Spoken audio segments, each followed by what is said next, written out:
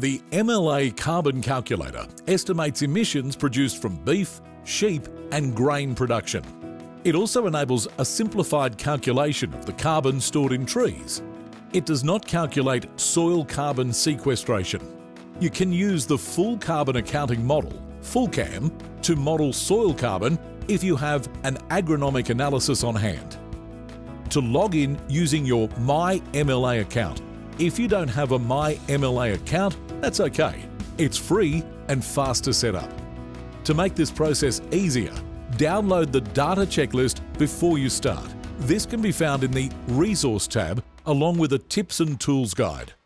After logging in, click the Start a New Carbon Calculation button in the top right corner. You can start from a blank calculation, upload a pre-filled Excel version, or use an example dataset. To begin a blank dataset, add a property name and year, and input relevant property information and your PIC. Check the applicable boxes for your operation and select states or territories for each. Lastly, check the box in each section if your property gets enough rainfall or irrigation to drain through the soil profile. This is typically above 600 millimetres per year. Once complete, hit the Save button at the bottom of the screen. Let's start to enter livestock numbers. Select the Edit Beef or Sheep button. This will open the livestock inventory section. You can select to enter your data monthly or seasonally. Choose a livestock class and input the head count, average live weight and live weight gain. Separate sections are provided for sale and purchased animals since emissions are only counted while on your property. As the year progresses, animals may move from one category to another. For example, animals that are less than one year old in winter may be one to two years old in spring. For each season, input the average live weight for each livestock category. The average weight is calculated by comparing weights throughout the season from start to end. For beef systems, to calculate the average weight for calves, multiply their growth rate by the number of days left in the season after they were born, and add this to their birth weight. For instance, if steer calves with an average birth weight of 35 kilograms and a growth rate of 1 kilogram per head per day are born in the middle of spring with about 46 days left in the season, their average weight by the end of spring would be 81 kilograms. For sheep systems, to calculate the average weight for animals that are maintaining weight, example, ewes or rams, this is easy, as live weight won't change much. For lambs, the average weight for the season can be calculated by multiplying their growth rate by the number of days left in the season after they were born and adding this number to the birth weight. For example, lambs with an average birth weight of 5 kilograms and a growth rate of 250 grams per head per day, born in the middle of spring with about 46 days to go in the season, their average weight would be 16.5 kilograms by the end of spring. For each season, input the average daily live weight gain for each class. This should match the live weights entered. The difference in weights between two seasons should equal the sum of the daily weight gains. If the live weight across two seasons is known, the live weight gain can be calculated. Use 91.25 for the average number of days per season.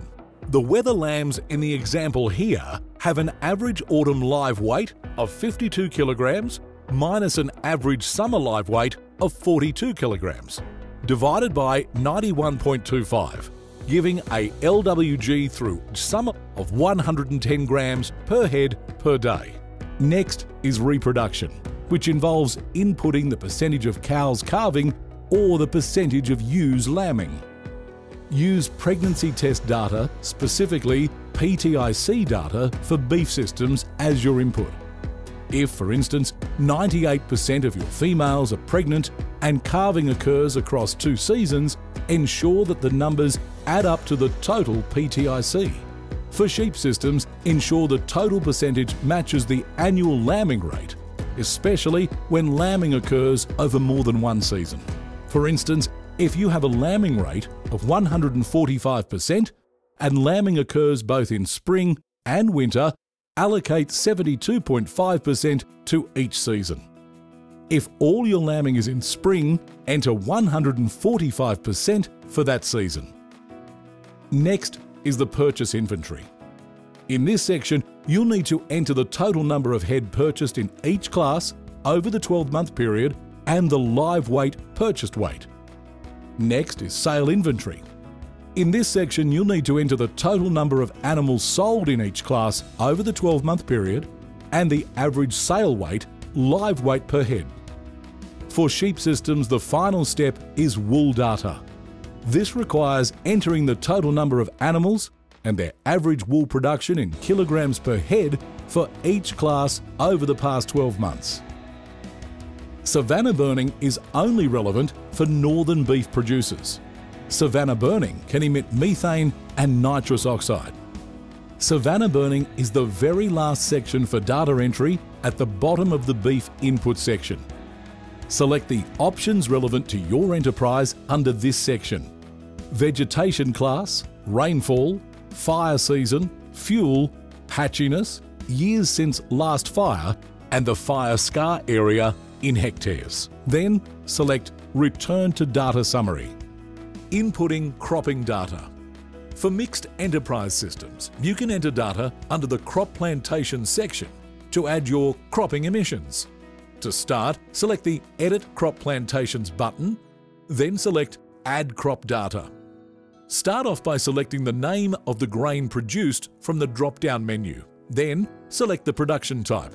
Then, enter the average grain yield in tonnes per hectare and the area sown in hectares. Next, enter the product application for the cropping system for MAP, SOA, DAP, urea or single superphosphate. Enter the figures as kilograms of product per hectare for this specific grain. If you used no MAP, you will need to enter zero in the box to be able to save and move to the next entry. All boxes must have a figure even if the figure is zero. Select the Return to Data summary when done. Inputting energy data. The next section is energy. This includes electricity use, petrol and diesel consumption. You may need to allocate your energy inputs as a percentage of your entire farm input. For example, if 10% of your fuel in a mixed beef and cropping farm business is used in the beef system then only 10% of the total annual fuel usage is entered into the calculator. To enter electricity data, select the Edit button for the electricity section and enter the annual electricity use in kilowatt hours. If you deliberately buy all your power from renewable sources or green power, select Renewable. Although the emissions generated by electricity used on farm are not emitted directly by the farm, it's essential to include this information to understand the greenhouse gas impact of power usage. If you purchase electricity from the grid and generate some on farm, enter the amount purchased minus any fed back into the grid. Enter annual petrol and diesel consumption in litres for the enterprise, including on-road and on-farm use. Allocate consumption for each commodity using the sliders return to data summary when done. By adding your plantation data into the calculator, you can create an estimation of carbon sequestration. Go to the Edit Vegetation section of the calculator to enter data for vegetation sequestration calculations.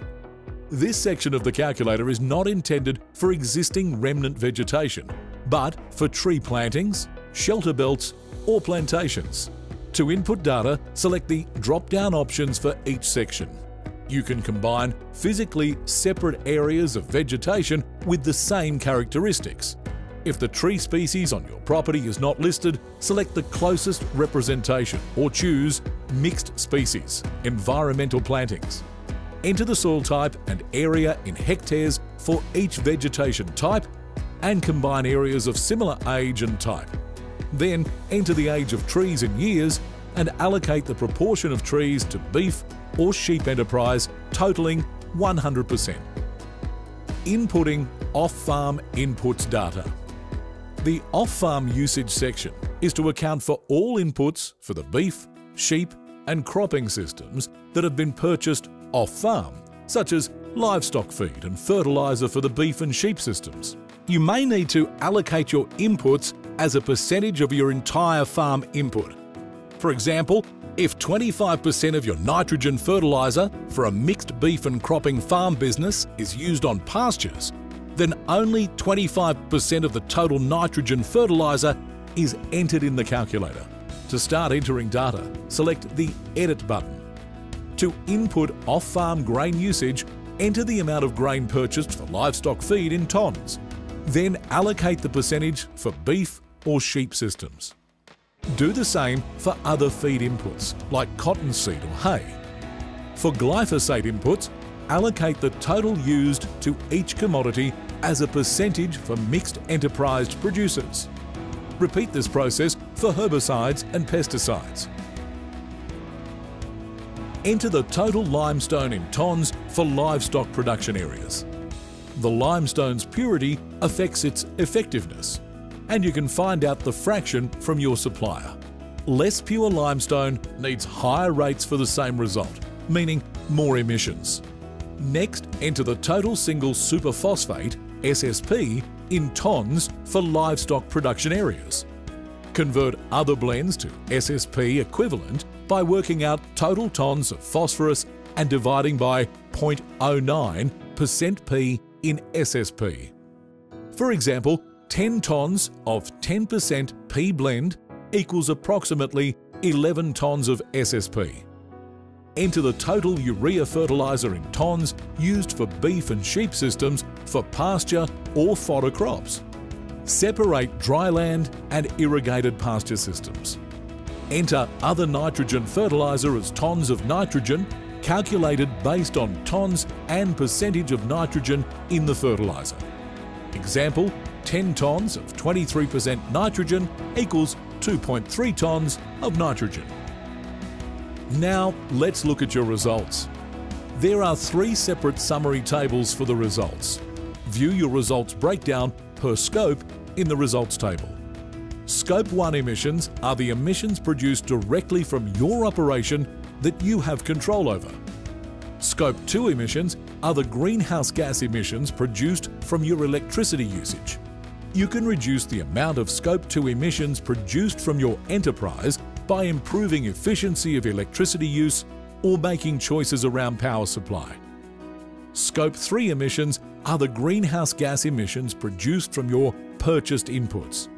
You can influence Scope 3 emissions by your purchasing choices, choosing suppliers who are low emitters themselves, or using inputs efficiently. The net enterprise emissions are calculated by summing the total scope 1, 2 and 3 emissions and the carbon sequestration.